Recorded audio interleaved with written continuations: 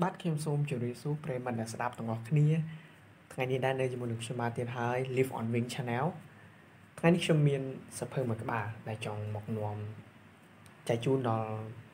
បងប្អូនប្រិយមិត្តអ្នកស្ដាប់ទាំងអស់គ្នាបានយល់ដែលសភៅមួយក្បាលនោះមានឈ្មោះថាទម្លាប់7យ៉ាងដ៏មានប្រសិទ្ធភាពសម្រាប់យុវវ័យសភៅនេះផ្ដោតសំខាន់ទៅលើយុវវ័យជាពិសេសតែម្ដងបាទហើយសភៅមួយក្បាលនេះដែរនិពន្ធដោយលោក Sam Covey សៀវភៅទម្លាប់7យ៉ាងមានដ៏មានប្រសិទ្ធភាពសម្រាប់យុវវ័យជាស្នាដៃនិពន្ធដោយលោកសេនខូយហើយសៀវភៅមួយក្បាលនេះដែរក៏បានជំរុញខ្ញុំនៅក្នុងការអភិវឌ្ឍខ្លួនបានយ៉ាងច្រើនមែនទែនវាគឺជាសៀវភៅសម្រាប់សាងទម្លាប់ដ៏ល្អមួយក្បាលដែលខ្ញុំបាទចង់ឲ្យអ្នកស្ដាប់ទាំងអស់គ្នា បានអានដោយផ្ទាល់ជាពិសេសគឺយុវវ័យនឹងតែម្ដងខ្ញុំសូមណែនាំឲ្យរកមកអានដោយផ្ទាល់ នោះនឹងបានដឹងអំពីអត្ថន័យរបស់សិភៅទាំងមូលបានកាន់តែល្អចោះថែមទៀតបងបើសិនជាបងប្អូនអ្នកស្ដាប់ទាំងអស់គ្នា ចង់បាននៅអត្ថបទទាំងស្រុងអំពីសិភៅមួយក្បាលនេះខ្ញុំបាទសូមណែនាំម្ដងទៀតឲ្យរកមកអានដោយលោកអ្នកស្ដាប់ទាំងអស់គ្នាអាចទិញបានតាមរយៈហាងបណ្ណាគារទូទៅទូទាំងប្រទេសរបស់យើងមុនដំបូងយើងបង្កើតទម្លាប់បន្ទាប់មកទម្លាប់នឹងបង្កើតយើងវិញម្ដង នេះគឺជាប្រយោគលំនាំនៃសភៅវិវានេះទម្លាប់សាងយើងឲ្យមានអត្តចរិតនិស័យទៅតាមទម្លាប់ការធ្វើឬការធ្វើជាប្រចាំទាំងអស់ហ្នឹងវានឹងសាងឲ្យយើងមាននៅទម្លាប់ធ្វើដោយអូតូម៉ាទិកដោយមិនចាំបាច់បង្ខំទៀតនោះឡើយសៀវភៅទម្លាប់7យ៉ាងដ៏មានប្រសិទ្ធភាពសម្រាប់យុវវ័យរបស់លោកសែនខូវីនេះគឺមានទម្លាប់ចំនួន7ដែលណែនាំដល់អ្នកអានទាំងអស់គ្នា តែដោយសារតែវាច្រើន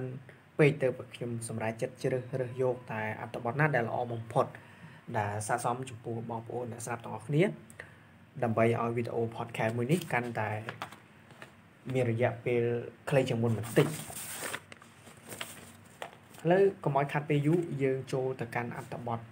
ទី1ទាំងអស់គ្នាតែម្ដងទៅអត្ថបទទី1មានឈ្មោះថាធ្វើជាមនុស្ស proactive អ្នកទាំងអស់គ្នាអាចនឹង សង្ស័យថាធ្វើជាមនុស្ស proactive នឹងបែបណា ហើយវាគឺជាអ្វីអឺតែប៉ុន្តែធ្វើជាមនុស្ស proactive គឺមានន័យថាត្រូវធ្វើជាមនុស្សដែលចេះទទួលខុសត្រូវលើជីវិតរបស់ខ្លួនឯងដូចជាខ្ញុំជាកម្លាំងចលករខ្ញុំជាអ្នកដឹកនាំជីវិតឲ្យខ្លួនឯងខ្ញុំជាម្ចាស់ការលើអារម្មណ៍របស់ខ្លួនឯងខ្ញុំជាតែកងដែលបើកបញ្ជាវាសនារបស់ខ្លួនឯងគឺមិនមែនជាអ្នកដំណើរដែលជិះពីក្រោយនោះឡើយ នេះគឺជាប្រយោគលំនាំនៃអត្ថបទនេះអ្នកនិពន្ធគាត់បានសរសេរឡើងថា ក្នុងមួយថ្ងៃ អ្នកនិងខ្ញុំ មានឱកាសមិនតិចជាង100ដងឡើយដើម្បីជ្រើសថាតើគួរធ្វើជាមនុស្ស proactive ឬធ្វើជាមនុស្ស reactive នៅមួយថ្ងៃអាកាសធាតុប្រែជាមិនល្អអ្នករកការងារធ្វើមិនបាន ត្រូវ ចោលលួចរបស់របរត្រូវមិត្តភ័ក្តិធ្វើអាប់នៅសាលារៀនត្រូវមិត្តភ័ក្តិនិយាយដើមត្រូវគេជាប្រមាថ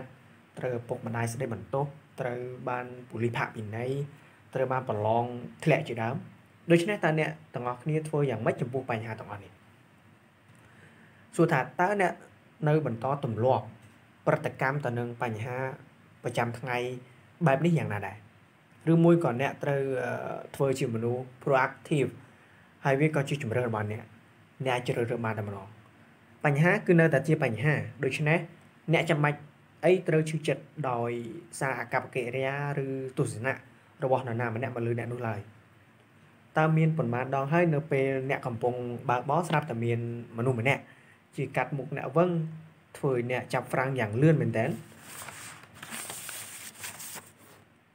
តើអ្នកខឹងគេរហូតដល់ស្រែកដាក់គេមែនទេ តើអ្នកត្រូវយ៉ាងម៉េចត្រូវលើកម្រាមដៃបណ្ដាលឡើងដើម្បីសម្ដែងការប្រមាថឬតើថ្ងៃនេះអ្នកធ្វើឲ្យខ្លួនឯងមានអារម្មណ៍មិនល្អដោយសារតែវាមែនទេតើអ្នកត្រូវខឹងរហូតដល់ញ័រដៃឬយ៉ាងណាឬក៏អ្នកទុកវាឲ្យកន្លងផុតទៅចោះសើចសប្បាយនិងបន្តដំណើរទៅមុខទៀតតែប៉ុន្តែអ្នកមានជំរើសធ្វើជាមនុស្ស reactive ធ្វើអ្វីទៅតាមតែអារម្មណ៍នៅនិពន្ធក៏បន្តថាមនុស្ស reactive ពួកគេមិនខុសពីទឹកសូដាដែលនៅដែលនៅក្នុងកំប៉ុងឡើយបើយើងកវីគាត់តែបន្តិចជាតិហ្គាសនឹងកើនឡើងបន្ទាប់មកក៏ផ្ទុះចេញមកតែម្ដងឧទាហរណ៍អាកប្បកិរិយាមួយទៅចុះលោកឯងជីឡានភ្លើទេអីបានជាជីកាត់មុខខ្ញុំអញ្ចឹងអីជាដើមចំណែកឯមនុស្ស proactive វិញនឹងសម្រេចចិត្តធ្វើអ្វីមួយ គឺគាត់ចេះថ្លឹងថ្លែង អំពីសារៈសំខាន់មុននឹងពួកគាត់ធ្វើពួកគេទទួលស្គាល់ថាខ្លួនឯងមិនអាចគ្រប់គ្រងអ្វីៗគ្រប់យ៉ាងដែលកើតឡើងមកលើពួកគេបាននោះទេប៉ុន្តែពួកគេអាចគ្រប់គ្រងតែម្យ៉ាងគត់គឺត្រូវដោះស្រាយបញ្ហាទាំងនោះដោយរបៀបណាមនុស្ស reactive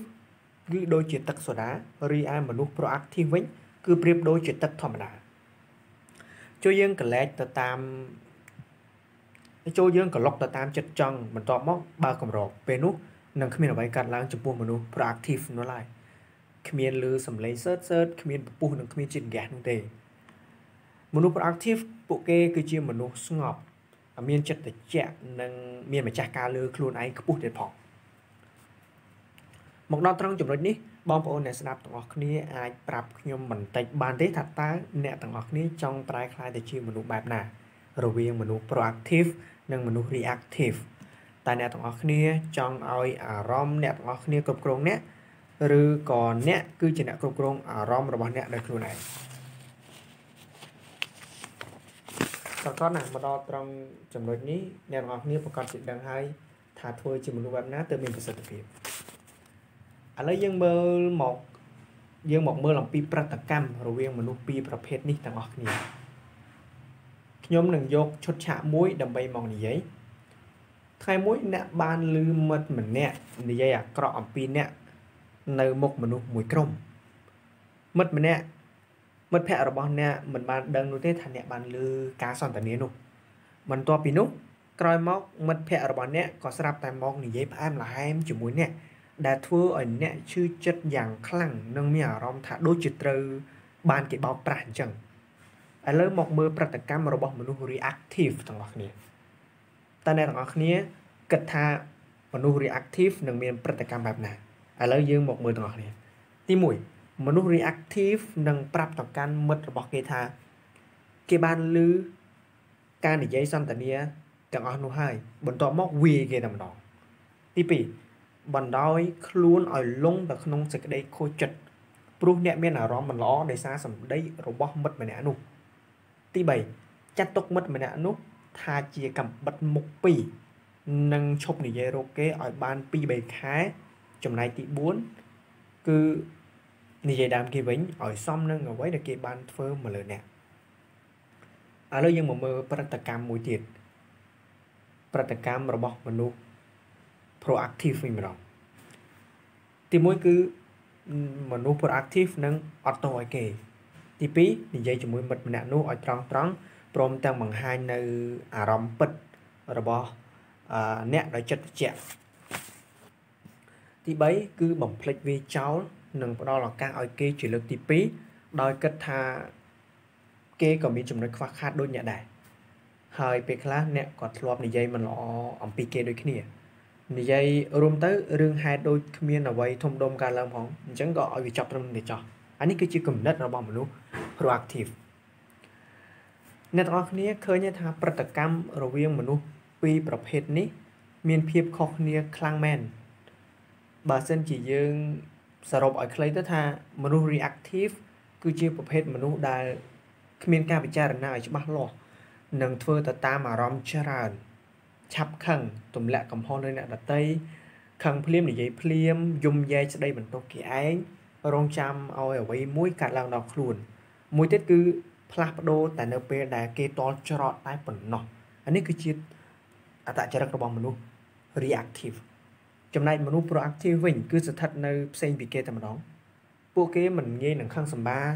ទទួលខុសត្រូវលើការសម្រេចចិត្តរបស់ខ្លួនឯងគិតមុននឹងធ្វើចាប់ផ្ដើមម្ដងទៀតបន្ទាប់ពីបរាជ័យ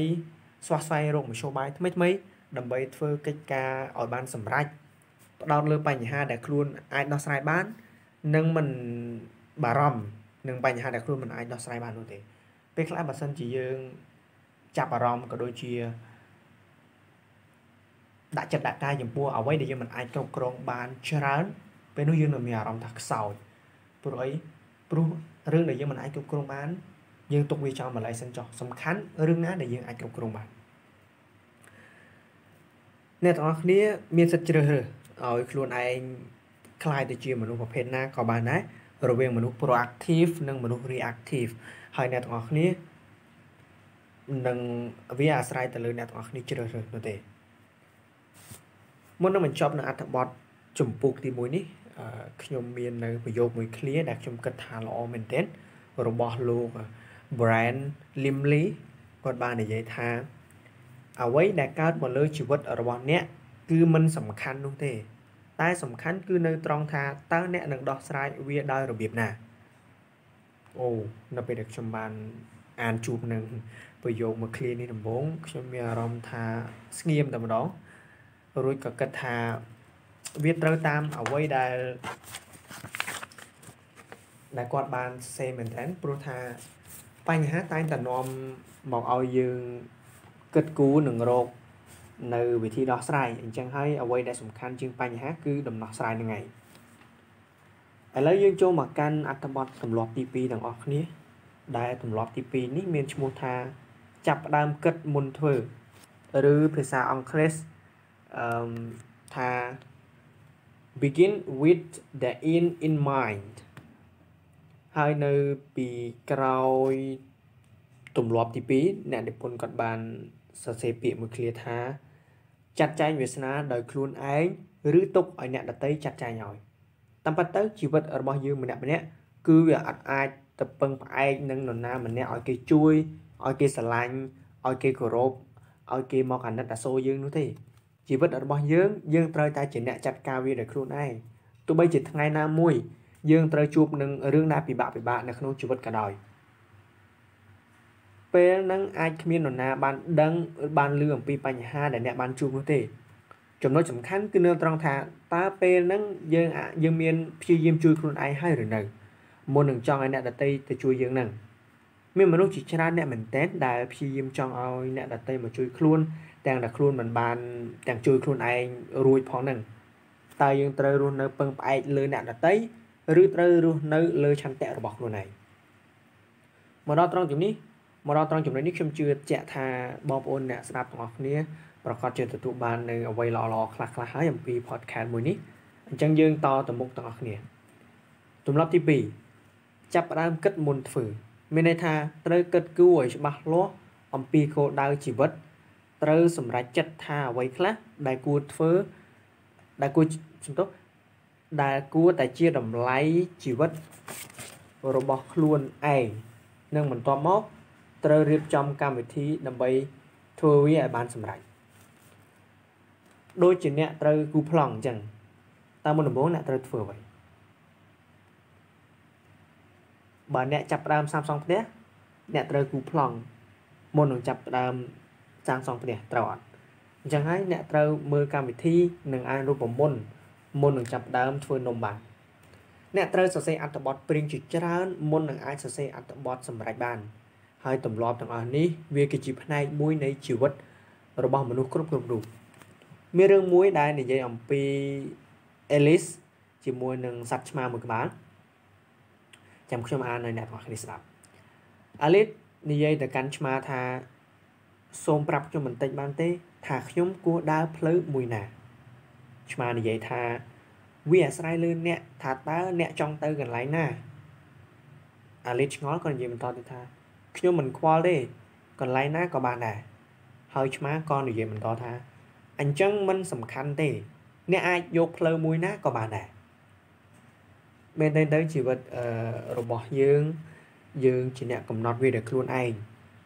យើងមិនចាំបាច់ទៅសួរផ្លូវអំពីនរណានោះទេ អ្នកដែលយើងសួរហើយនឹងទទួលបានចម្លើយដ៏ល្អនិងត្រឹមត្រូវបំផុតនោះគឺសួរខ្លួនឯងរកចម្លើយដោយខ្លួនឯង ពិសោធន៍និងស្វែងយល់ថាតើខ្លួនឯងចង់បានអ្វីនៅក្នុងជីវិត វាគឺជាជំរើសដ៏ល្អបំផុតអ្នកនិពន្ធគាត់បានសរសេរថាទី1អ្នកគឺជាតៃកុងនៃយានជីវិតរបស់ខ្លួនឯងគឺមិនមែនជាអ្នកដំណើរនោះទេ ចំណែកទី2កំណត់ថាព្រោះតែអ្នកគឺជាតៃកុងយានរបស់ជីវិតអ្នក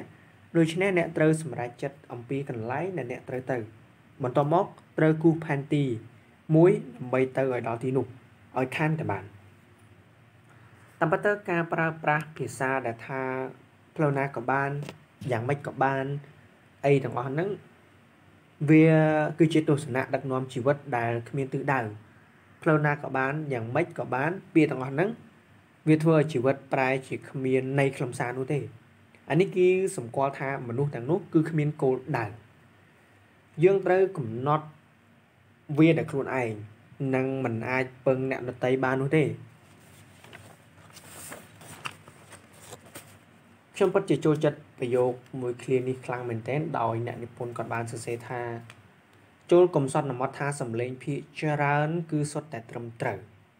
កុំសន្មត់ថាពួកគេគឺសុទ្ធតែបានដឹងពិតប្រកបនៅកន្លែងដែលខ្លួនកំពុងទៅព្រោះថាជាញឹកញាប់ពួកគេមិនច្បាស់ខ្លួនឯងផងក៏មាន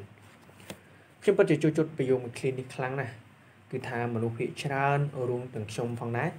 គឺពេលខ្លះខ្ញុំតែងតែភ័យមែនតើ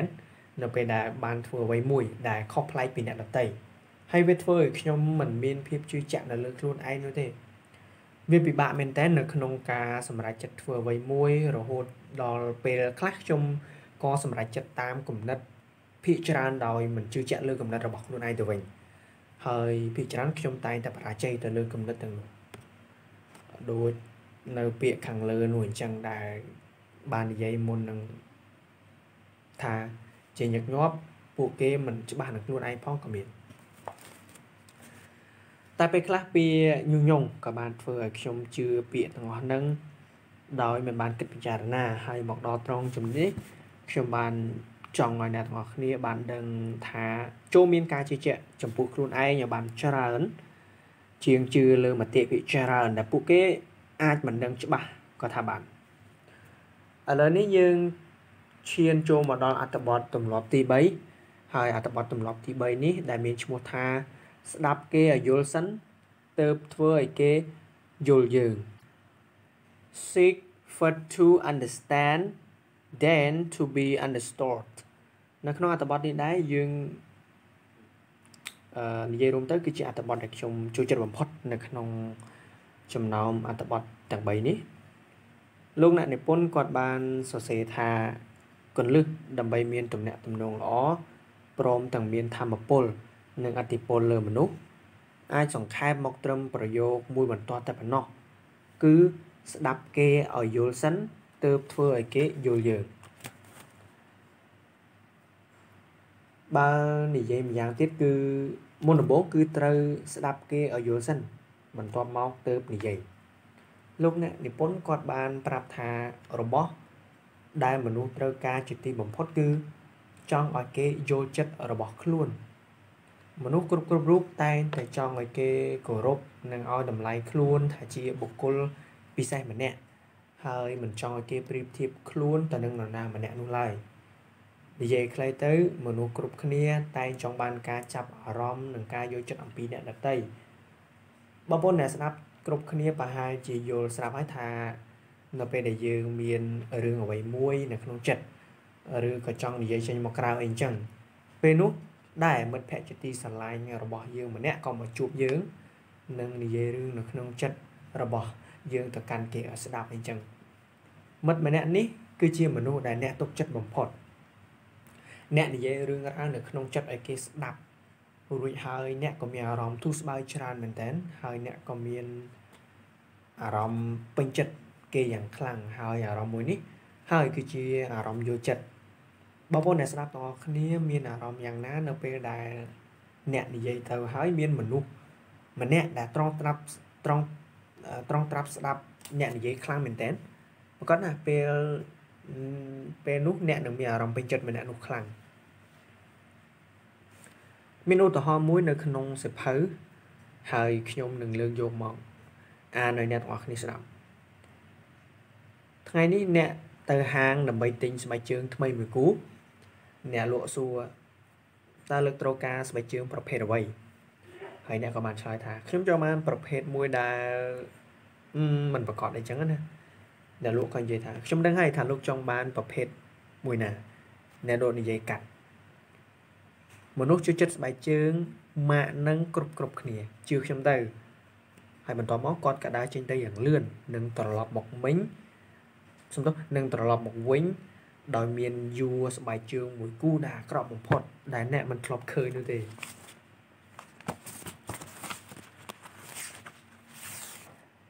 លោកមើលមួយគូនេះមើលតើ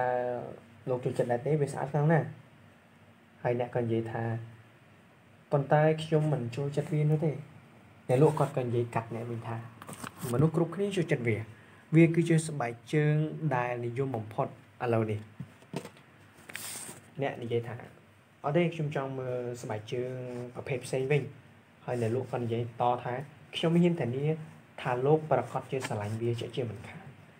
អ្នកគិតនៅក្នុងចិត្តរួចនិយាយថាប៉ុន្តែខ្ញុំ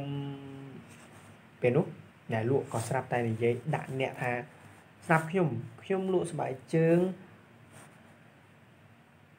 អឺមកដល់ពេលនេះគឺវាយូរណាស់ហើយដូច្នេះគ្រាន់តែមើលមួយផ្លែខ្ញុំក៏អាចដឹងបានថា វាល្អឬមិនល្អឥឡូវគេមានសំណួរសួរថាឥឡូវខ្ញុំសួរអ្នកទាំងអស់គ្នាមើលថាបន្ទាប់ពីបានជួបជាមួយនឹងបទពិសោធន៍បែបនោះហើយតែអ្នកទាំងអស់គ្នានឹងត្រឡប់ទៅហាងនោះម្ដងទៀតដែរឬទេខ្ញុំជឿថាប្រហែលជាអត់ទេមែនទេខ្ញុំជឿថាយើងនឹងមិនជឿមនុស្សណាដែលឆាប់សំថ្នាំឲ្យយើងលេប ទាំងតែគេមិនទាំងដឹងថាយើងកើតជំងឺអ្វីផងហ្នឹងបើយើងនិយាយទៅ ជាមនុស្សដែលចូលចិត្តផ្ដល់តែដំណោះស្រាយយើងមុននឹងស្ដាប់ស្ដាប់ពីអ្វីដែលយើងចង់និយាយឲ្យយល់សិនមានពាក្យស្លោកមួយរបស់ជនជាតិភាគតិចអឺអាមេរិកឥណ្ឌាគេនិយាយថាចូលស្ដាប់មិនដូច្នោះទេអណ្ដាតរបស់អ្នកនឹងធ្វើឲ្យត្រចៀកអ្នកថ្លង់ ពេលខ្លះយើងត្រូវមានការប្រុងប្រយ័ត្នចំពោះ ការនិយាយឲ្យមែនតែនយើងត្រូវមានការស្ដាប់ឲ្យបានច្រើនជាងនិយាយហើយបើសិនជាយើងត្រូវនិយាយជាចាំបាច់មួយទៀតគឺយើងត្រូវស្គាល់កលៈទេសៈផងដែរកុំឲ្យប៉ះពាល់ដល់ការនិយាយរបស់យើងហើយជាចុងក្រោយមុននឹងបញ្ចប់នៅ podcast នេះខ្ញុំ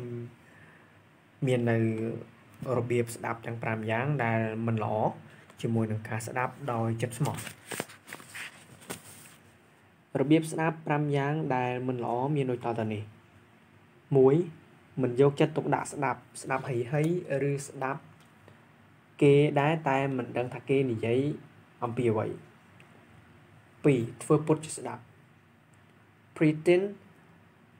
listening មានដូចជាបាទចាអល្អតើនឹងអញ្ចឹងហ៎ជាដើមមួយទៀតគឺស្ដាប់ចោះចោះ មួយទៀតគឺស្ដាប់ពាក្យតែមិនយកអត្ថន័យឬមួយក៏មិនជល់ពីអត្ថន័យជាដើមទី5ស្ដាប់ដោយឈរលើទស្សនៈរបស់ខ្លួនឯងឬស្ដាប់ដោយលើកយកខ្លួនឯងជាធំអីជាដើម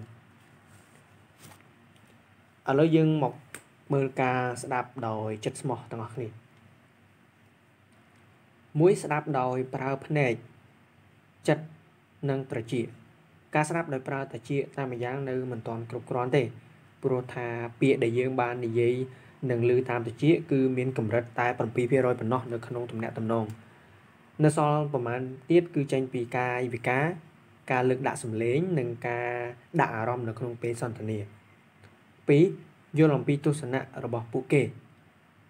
ដើម្បីคลายជាមនុស្សចិត្តស្មោះក្នុងការស្ដាប់អ្នកត្រូវតែចោះចេញពីទស្សនៈរបស់ខ្លួន